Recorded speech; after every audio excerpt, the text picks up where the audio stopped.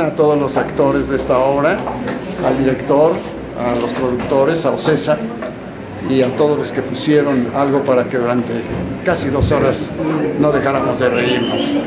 Es una de las comedias más divertidas que he visto en el teatro en México. Les recomiendo que la vengan a ver, pero tomen sus precauciones porque se van a reír mucho.